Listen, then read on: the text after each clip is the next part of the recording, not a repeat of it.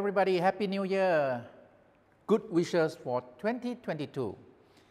And welcome back to the ASPIRE Show, where we feature the amazing people in tech and science, innovation and entrepreneurship.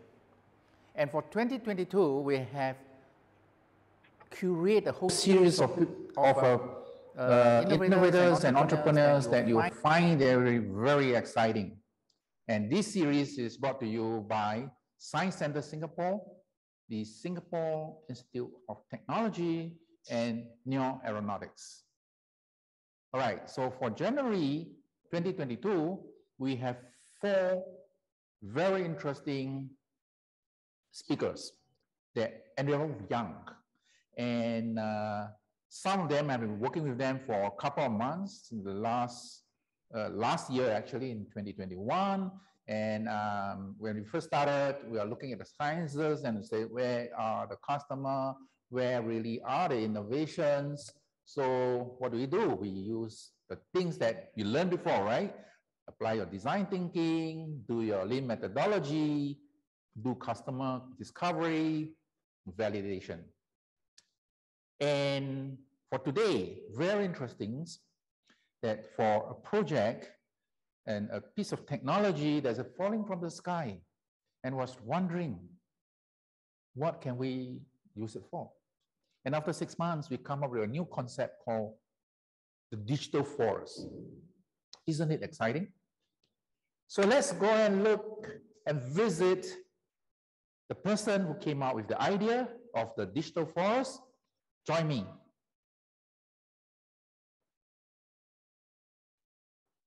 And hi, this is Dr. Shane Kyi. Hello. And uh, PhD from the Singapore University of Technology and Design, and obviously the co-founder and CEO of AirXeed.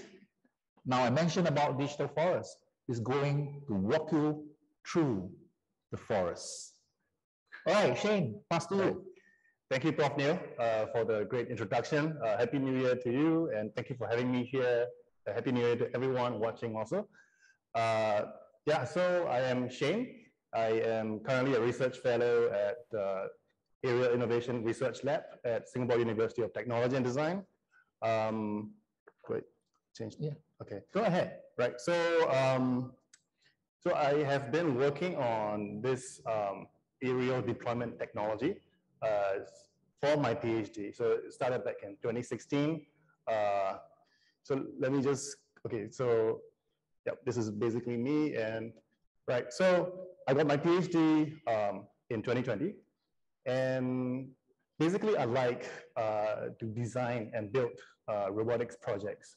And uh, this started like way back when I was in, when I was a kid, and then I started building things like boats, uh, radio controlled boats, and do things like that. And when I joined SUTD in 2012 uh, to do my bachelor degree, and I joined this uh, undergraduate research program uh, under Prof. Shaohui, and that is when I got to uh, got my first time building uh, drones. So I actually started to build and then learn how to build, learn how to fly drones back in 2012, and then when I finished my bachelor in 2015, I joined HOPE Technik, mm-hmm. uh, and that's when I actually spent the time to build uh, drones that they used for aerial display in mm-hmm. NDP uh, uh SG50 uh, in yeah. Yeah, 2015. That show. Uh, so after that, I decided to go back into research because I found that research and doing a lot of like interesting things and um, you know, uh, just like doing new things and publishing research results. I, I found that like a bit interesting, so I joined back. And under Prof. Shaohui, I, I did like research.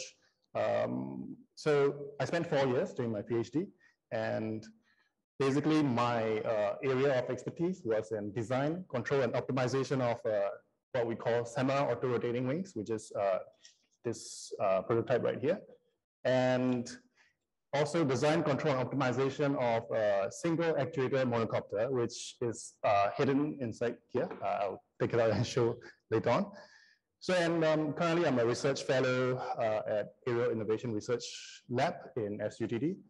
Uh, so, and these are some of the pictures of like the prototypes that I worked with throughout this time. So, um, how did we come about like this auto-rotating wing idea? Uh, it's, it's basically from, uh, it's a maple seed. Like if you have seen a maple seed before uh, in nature, maple seeds drop uh, uh, from the trees when yes, they stand dispersed. Right. And when when when they drop, they actually do this very graceful maneuver uh, motion called uh, auto rotation. And when it does auto rotation, what it does is it slows down the descent speed. So instead of just free falling uh, to the ground, it slows down, rotates, and wind blows and it will disperse. So yeah. the function of it is to disperse.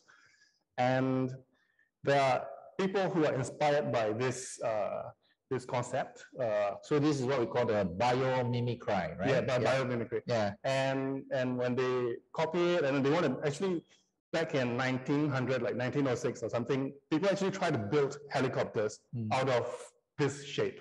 So you can imagine there's a person sitting in the seat area of it, like around here, somebody sitting there, and the whole giant wing rotating. So obviously it didn't work because it's too complex and you need to keep the person stable. It can't be spinning around. Right. So it didn't really work. But the concept like took off uh, as unmanned aerial vehicle okay. back in 2000s, like 2007, 2008. That's when like uh, MIT, uh, Lockheed Martin came into the uh, this space, and then they started to build something called monocopters. Monocopters basically uh, this maple seed that can fly by itself. I think it's very difficult to describe. Do you have pictures to show us? Uh, Um, maybe I can just show you the this craft here because mm -hmm. I didn't like put it in the picture there. Right. So this one is actually quite special uh, because it is like folded into a like hand, ah, okay. size craft. Mm. So if I unfold it right, it becomes a full size monocopter. So just by unfolding it, ah. so then uh, so there's like that boomerang. I can just treat that as throw, right? Yeah. Just, basically, you can hand launch it. You yeah, hand launch yeah. it, and then it will fly. It's actually very stable. Like this, this maple seat is uh, aerodynamically. So can, can I have say a look yeah. at it? So so yeah, so that's the batteries, that's the wings, right? Yeah. And then you have the uh, the propellers. Yes. So how does it fly? fly this way? No. actually, it's very counterintuitive. Uh, so and one of the things about this is that it is one single actuator. Mm. So normally when like things are flying, they need like four actuators or more, like conventional quadcopters, they yes, need four yes, actuators yes. Uh, at the very least. So this one uses just one actuator. And so it flies like this. So mm. this way, the propeller is I producing see. thrust okay, okay. Uh, this way and it rotates around the center of gravity, yes. which is somewhere around the, the base of the wing here. Mm -hmm. It rotates, and the whole wing generates lift. Mm -hmm. And based on that lift, it takes off. And then to control it, we uh, we do a very precise timing pulsing of the motor. So when you pulse in the correct uh, sequence, then you can start moving around uh, in X, Y directions. So, oh, so you actually can control it. Yes. so it's like flying wing. Yes, it is basically right. Uh, very simple helicopter. Okay. Yeah. All right. So you can fly left, right, up, down, uh, all this. Okay. okay. Okay, guys, you can build your own helicopters. right. Yeah. Yeah. So yeah, this, this is one of the, the very interesting things. So you have any videos to show us? I have videos, uh, but it's on YouTube. okay. Okay. All right. Yeah. Is that the only single slide, slides you have, or what else you, you can have? Oh, we have like more slides behind. Okay, good. let's yeah. go ahead Then. Yeah, sure. So, uh, and the other thing that we were working on is the auto-rotating version. Hmm. So uh, monocopters inherently they can auto-rotate. When they when you switch off the power, uh, it will auto-rotate like a hmm. maple seed, mm -hmm. but they are not really that optimized uh, because of the weight distribution and all that. So uh, back in my PhD when I first started, uh, my prof was like, okay, why don't we focus on like you know this auto-rotating part of it? we mimic the full maple seat and then we try to control it. And apparently there are people who tried that before, but it is quite difficult to mm. achieve control uh, around that time. So I was like the first one to actually manage to make it move in a direction that I want. That is a PhD. Yes. This you got a PhD. Yeah. That's good. Good job. All right, Thank you, let's bro. go ahead. All right.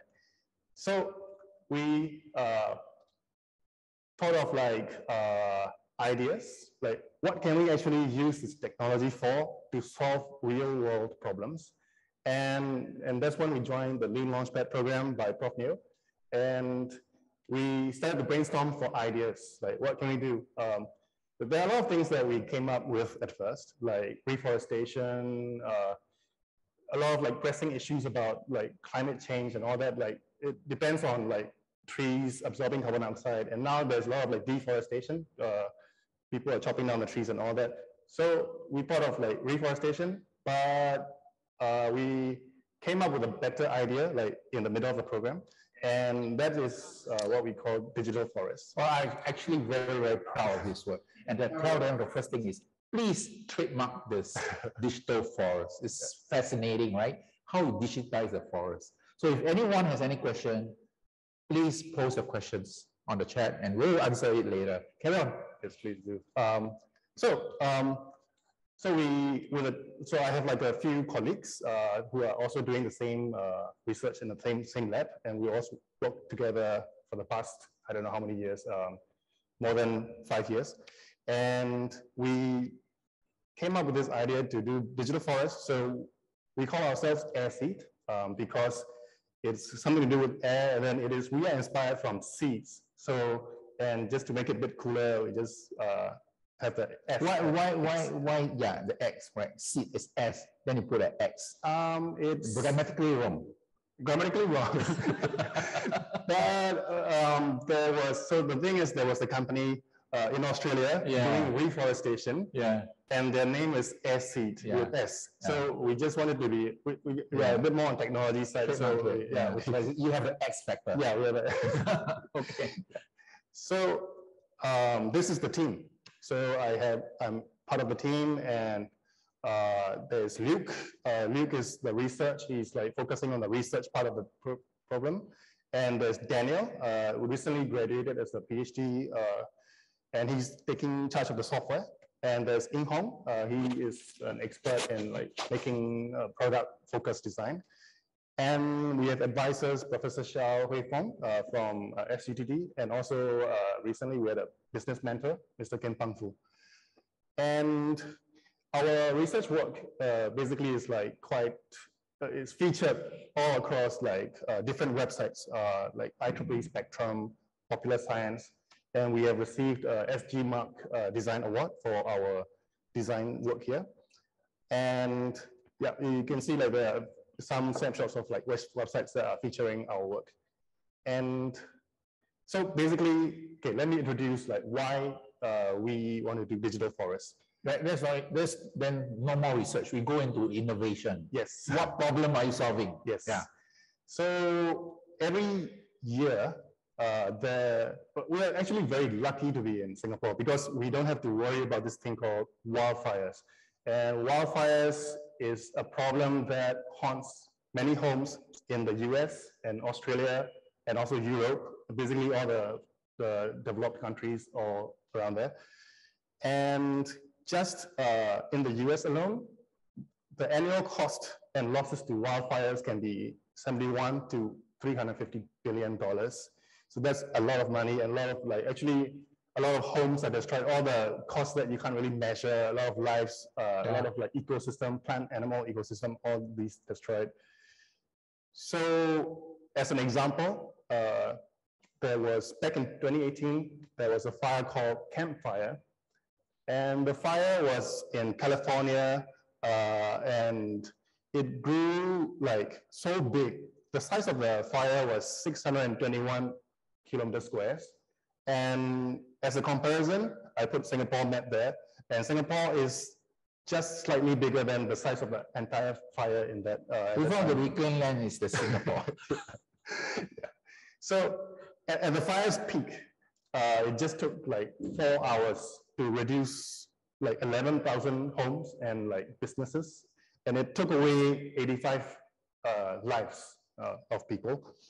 And the cost of that fire alone was $16 billion. So uh, if you think about the insured covered losses, like it's about $12.5 billion and other like costs combined will become $16 billion.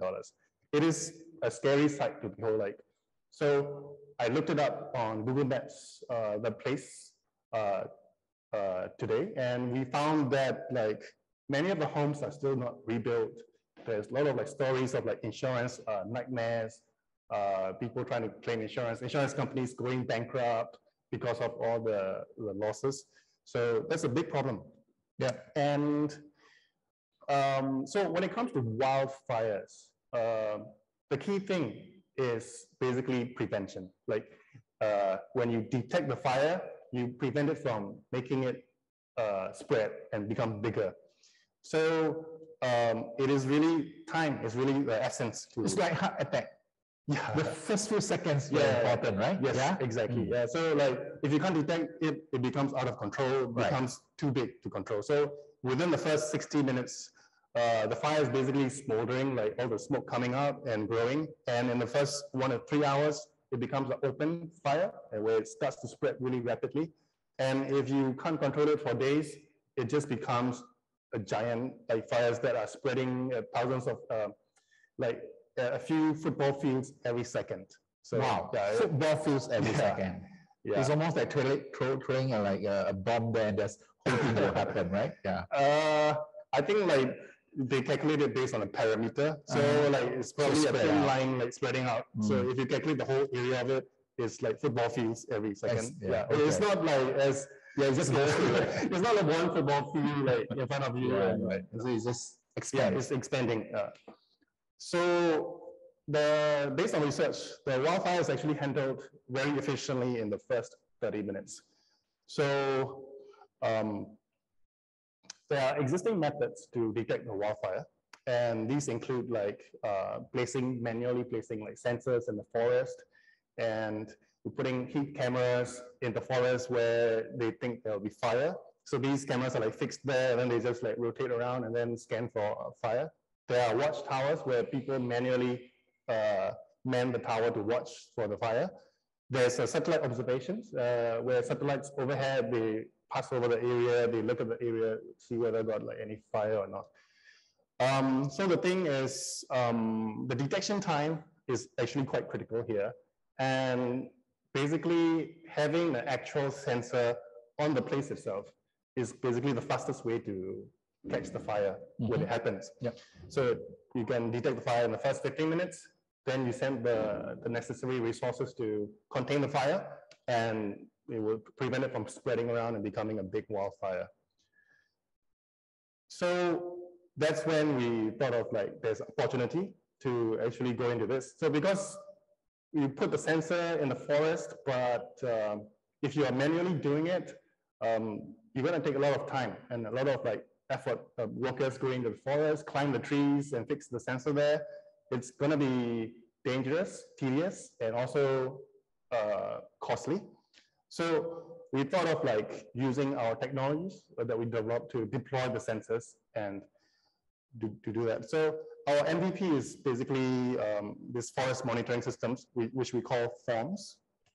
And basically it is um, our auto-rotating wing integrated with gas humidity and temperature sensor to detect the fire when it uh, happens.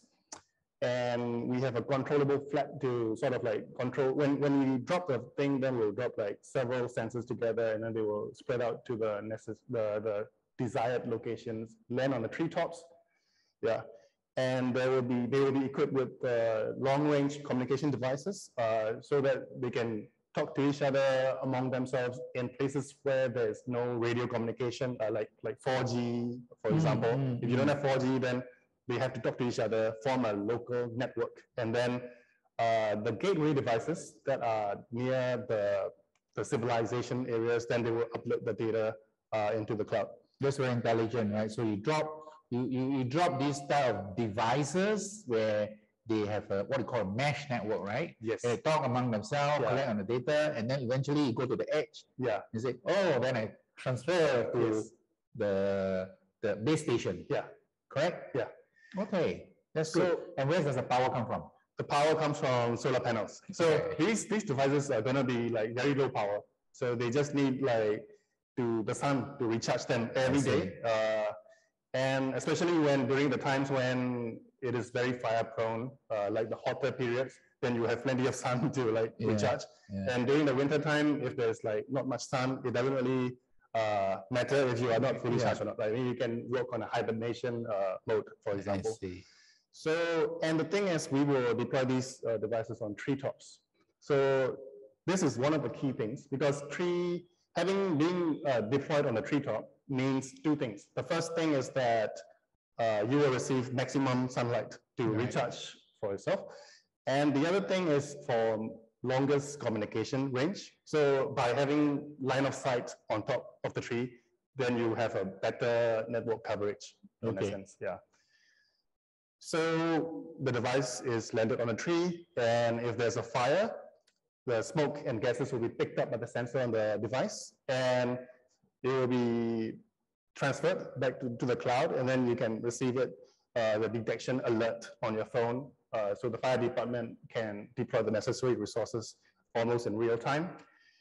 So that's the architecture of it. So we will deploy uh, gateway devices and sensors uh, across the remote parts of the forest, and they can pick up like actually digital forest means that like you can do a lot more than just detecting wildfires. Mm. If you integrate like uh, other types of sensors like carbon levels or like humidity, temperature, uh, all these things. Uh, I mean, what I can think of is like can be useful for like monitoring the health of the forest, and it can even be used for things like uh, if there are people lost in the forest and they don't have network coverage, you can actually like in the future, if you can tap on the network of these devices, then you can send your SOS signal uh, uh, or like get communication.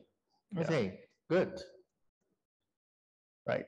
So the now uh, maybe I just tell a bit more about like what this uh, auto rotating wing is capable of. So it's actually the the the deployment method and the design of this is actually patented.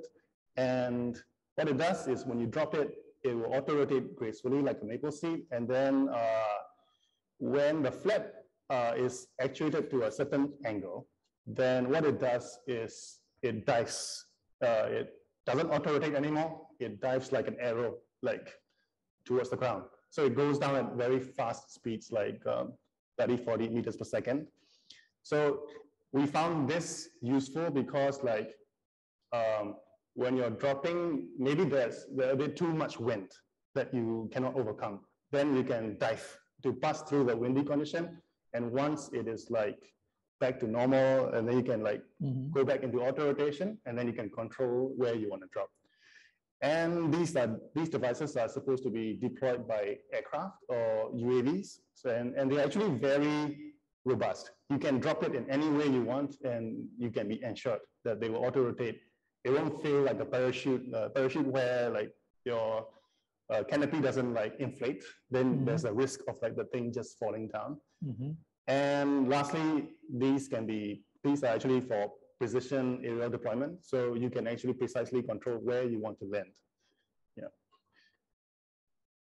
So if uh, the forest monitoring system was deployed back in 2018, um, so we just did some calculations, rough calculations. Uh, we just need like 6,200 sensors to cover the whole area. It will cost only about like 2.5 millions, and we can detect the fire in the first 15 minutes. Then you will save like 16 billion dollars of like cost that the fire will eventually destroy, and we will also save the lives of like 85 people.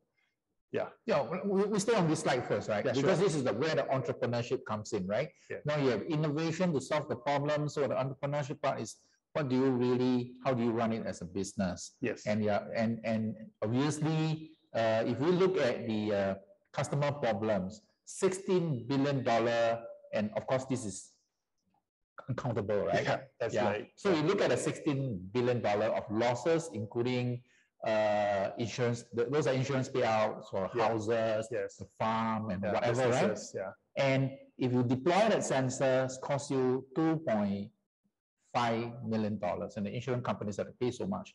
The vast difference, right?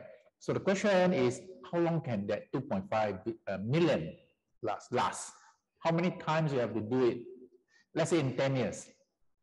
Actually, that depends on how you how well you design the sensor to be uh, weather resistant Mm. and how well the solar panels and all that can function over the years. So uh, actually, this is not a new problem.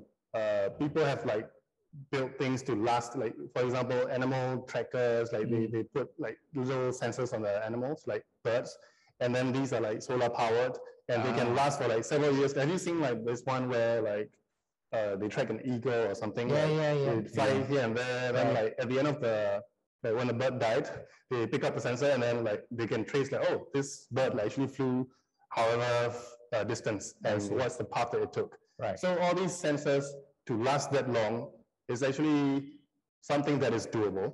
Mm. And we just need to make sure that we design in the proper way so that it will last. So Well, even if you do do these things, right, 16 billion over 10 years, right? And Yeah. just compute, if I replace it every year, it's still than this. Yeah. Right? There's a business value proposition.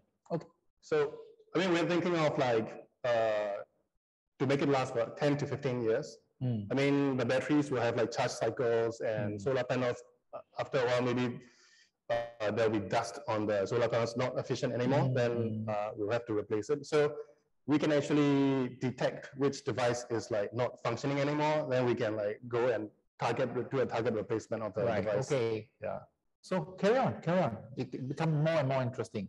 Actually, ah, yeah, so Digital Forest is our MVP, but we're also looking at like What's what MVP? Our audience may not know what's MVP. Well, uh, it's the most valuable. uh, I'll, I'll, I'll, I'll, do it for you. It's the minimum. Oh, yeah, minimum viable product. Okay, good. Yeah, sorry, sorry. Yeah, I got people confused. say most valuable product. Yeah, yeah, yeah, got confused with the. I'll, I'll say that's jewelry. Okay, minimum viable product, yeah. Um, so there are other things that we're looking at for, um, to uh, use the technology in.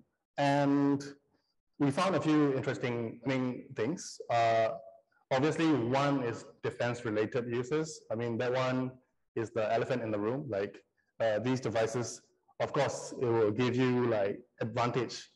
Okay, let's not go into defense. Yeah, sure. Right, Yeah, let's go into something. Yeah. Okay. better. So uh, the other thing is also super interesting because um, currently, like a lot of people may not know it. Like uh, weather stations around the world, they actually release uh, weather balloons Uh-huh. every day.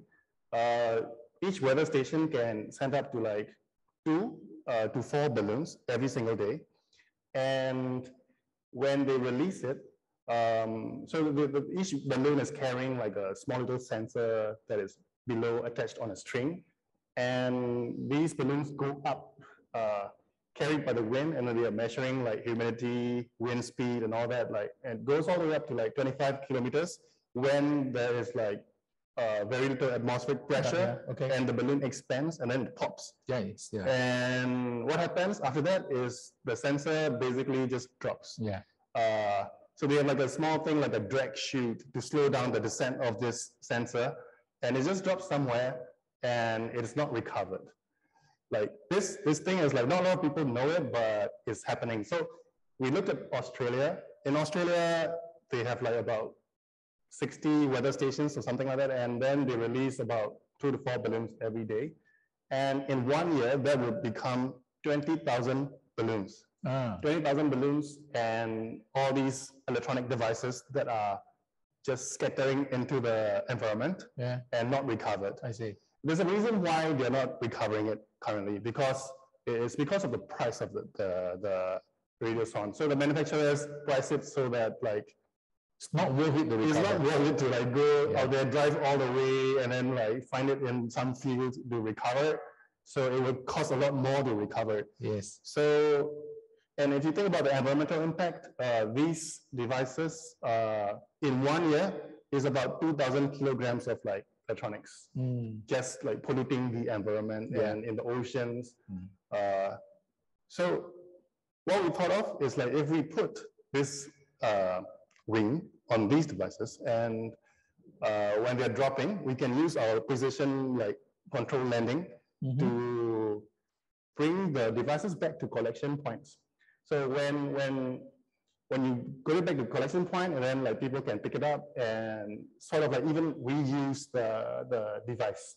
So from single use, it becomes like multiple use, like maybe you can use it like 10 times. And the market for this is also quite big. Like, so each device is cost about 200 US dollars. Mm. So like in one year, just in Australia, that's uh, 4 million uh, US dollars. Mm. So, and I talked to the weather experts in uh, Finland, and they said like Germany also releases about 20,000 balloons every year. So there's 4 million here, 4 million here, like a lot of like the more developed countries, mm. they actually are spending quite a lot on this. Um, so if we can enter this market and then uh, make it, uh, make all these radiosondes more reusable, then we will make the environment uh, we will make it more sustainable and we will save the environment. Yeah, yeah. that's good. Yeah. Yeah, and I think this is the last slide. Yeah, thank you. All right, good. Thank you.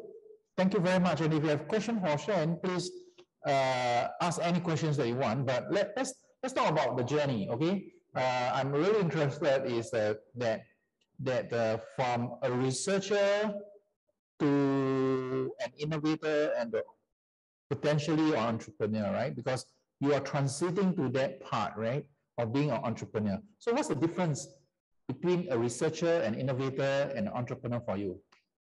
Well, as a researcher, what you're most interested in is like something new that nobody really has done before. You do, uh, you try to push the boundaries of science in that particular field, and then you uh, you make your research and then you publish it so that like you expand the knowledge of the, the whole scientific community. Uh, that's really the goal of a researcher. An innovator, you basically find things to solve problems. Mm. You solve problems and you um, try to do better and then like, you know, like you push the technology and then I, I would say the innovator is like in between research and entrepreneur like right around the middle. An entrepreneur is someone who's trying to uh, just find people's problems and solve it, and mm-hmm. then you, you try to make a business out of it. Yeah. Okay. So so yeah. So your very clear definition. The question is from a PhD transiting from one to another. What kind? What do you have to change, right? From a researcher, what kind of mindset, skill sets, training, and do you feel scared? yeah well, definitely yeah, a bit scared. um, so the transition, like one of the things I learned like during the, the Lean Launchpad program is actually finding um, uh, what people, what clients, what uh, what are the people, consumers willing to pay money for? Right. Yeah. Uh, you might be actually trying to like, you might have the best technology in something, but it may actually not solve what they want. Like uh -huh. It may not actually bring value in it. So it's really important to do customer discovery and what people actually want and solving that. So I think that's what I learned uh, during the, the program. So it's, it's not not to worry, right? Because as long as you attend my training, no, as long as you attend a formal training uh, uh, uh, and learn the technique, then you can transition, right? Yeah. But is there difficulties for you personally, when you're doing a lab and now you start worrying about talking to people, interviewing customers, how, how do you overcome? Well, uh, most researchers or like people who spend a lot of time in the lab, they won't be like um, uh, very comfortable with like talking to random people and then like finding out what they want. Mm. And that's one of the, the, the more difficult things that I experienced yes. during the during the, the time. So uh, we had to like cold call people. We had to like uh, talk to potential customers and find like uh, what how to solve their problem without actually like you know imposing too much of your technology on them so that like you don't bias them. And yeah that's one of the things that uh, that was quite challenging as a researcher. Yeah. Okay so so from researcher to the innovator it's not too difficult because you are still dealing with a, a potential user. I wouldn't say customer, right? Because yeah. they might not be the person to pay, right? Yeah. So potential user, they have problems, they have the technology, and then you try to match. So being an innovator is just go out, find problem to solve, right? Yeah. But after you solve the problem, which you have, now is can you make money, right?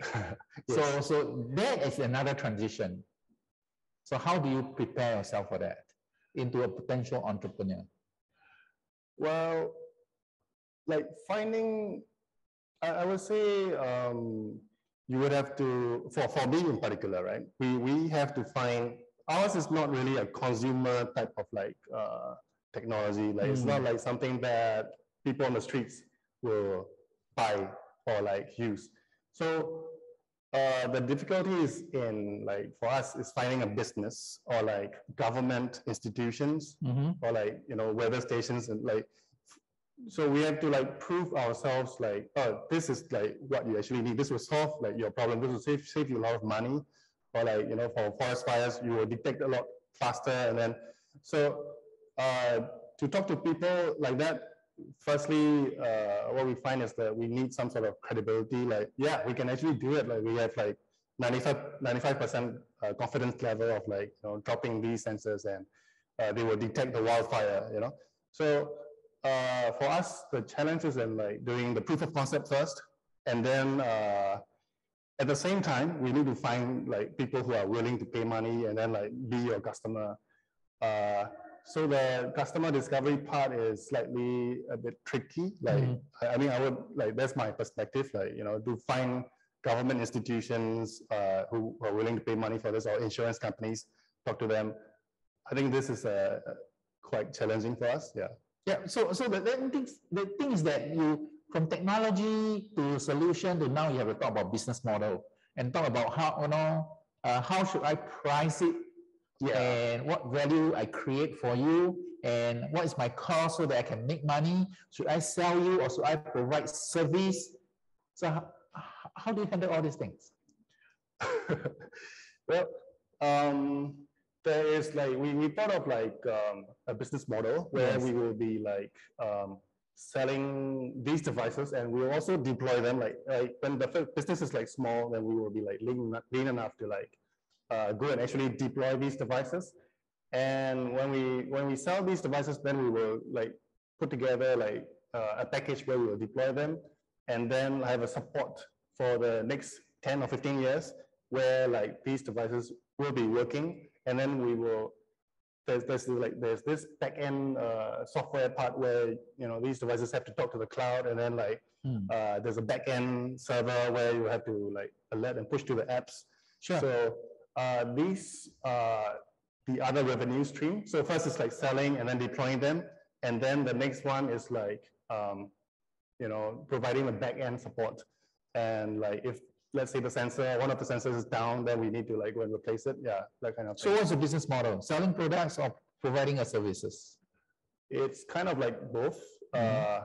because there's like the first you sell it and then you would like provide the back end service. Yeah, so it's kind of like comes together.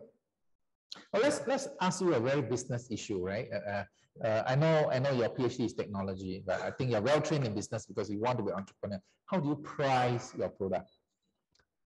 Well, um, it comes with like, I mean, there's a few different like approaches to it. Like, firstly, the most engineering way is to like do the bomb, like BOM, and then uh, you list out all the materials that you will be using and what are the, you calculate like what are the chances of like the equipment failing, Uh-huh. and then like replacement or like uh, manufacturing costs, all that like you factor in, and then after that you can factor in a profit uh, margin of profit. Like uh, after that, you can price it that way. Like there's one that's one way. Mhm. The other one, the, the, the other way is just to see like what is the value that you're bringing to them. Like, are you Mm. bringing safety? Like you know, like uh, it will be peace of mind for us. Like you know, uh, both for the uh, homeowners and insurance companies. Like if you can actually detect uh, the wildfire in the first 15 minutes and then your home is like not destroyed to the wildfire, um, that is like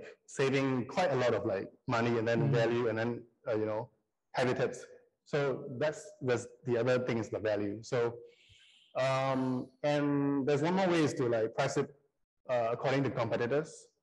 But um, in our space, there is like not a lot of like companies doing like sensor deployment uh, or like uh, remote monitoring.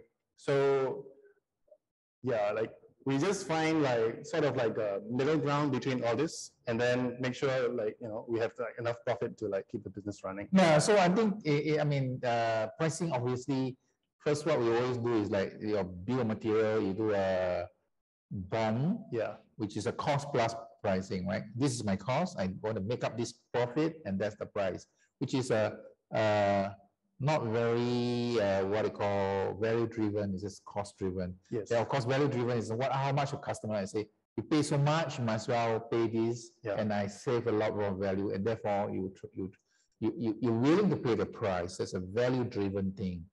Um, another way of doing this is really competitive pricing, right? The guy sell how much can I match? Yeah. Can I be better, slightly higher, or whatever? Depends on the value we created. I think, okay, so one question uh, that's very important here is what, how do you actually uh, come up with a team, right? If you, you're going to spin off this company, what kind of team do you need? I, I would say like, um, like, firstly, getting people that you can really work with, like, mm -hmm. uh, a team that is synergetic mm-hmm. and having diverse skill sets. I think that's really quite important. And of course, like, you know, teams, there might be like different views on like doing certain things. But as long as like if you can reach a middle ground and then like you have a similar goal that you're trying to, you know, reach towards, I think that's the one of the most important things. Mm. Yeah. Yeah, so so complementary skill sets. Complementary skill sets and so having the same. But then you're a team, right? So you're, you are going to be a CEO. So what do you think people believe in you, trust in you to be the leader? Um, I guess like it will come with like over time. You have like, charisma. well, yeah. I mean, CEOs definitely need uh, charisma, and uh, I mean, you basically need trust from your team to like you know, that you can do this particular yeah, role. Like, yeah. for example, if I trust my CTO or like uh, software, like they can do it, they can do this job. Like the way I trust them, they need to trust me in the same way. So I think maybe like it mainly comes down to trust, like whether mm -hmm. you know, they, they trust in you, like whether you can perform uh, to the expectations. I think that's quite important. Okay, so what are the biggest challenges that you're facing now? Um, so, I mean, to be honest, we are in a pretty early stage. Um, we have this technology, we have patented it, and we have identified a potential market that, uh, that we will bring value in. Um, the biggest challenge right now for our team is actually to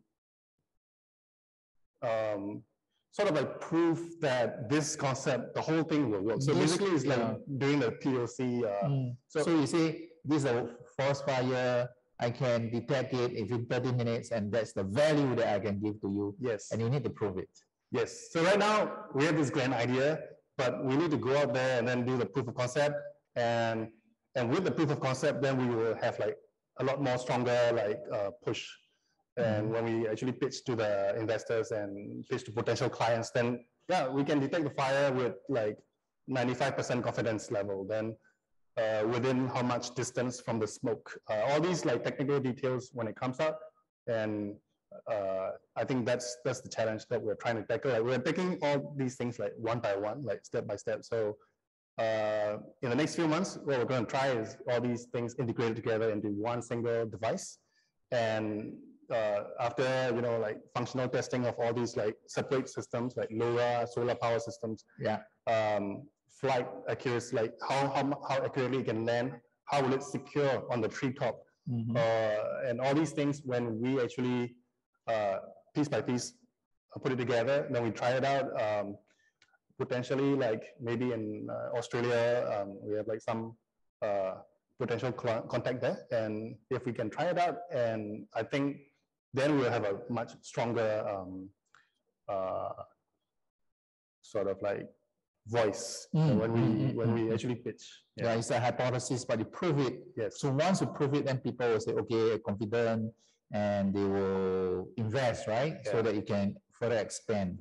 Okay, I think that's great. So I think we uh, we come to the end of the, the sessions, and thank you, Shane, for joining us. You are the first speaker of the year for 2022, and I'm really excited about the concept of digital forest. I think that is really something that uh, not just to about talking about uh, the important task of uh, preventing forest fire, which is a big issue, but you really need add on because we're digital, right? Digital forest, right? We digitize the forest. There, there are a lot more things that we can do. Detect animal life, right? Detect poachers, right? Uh, maybe even monitoring the, the health of the forest. There's tons of things that we can do. And if you're really interested, then you may want to approach him, right? Intern for him. so we're most welcome, and I'd like to thank Shane for coming to talk to us tonight, and uh, very good wishes for you for 2022. Thank you, Prof. Uh, You want to have the last uh, statement for the audience?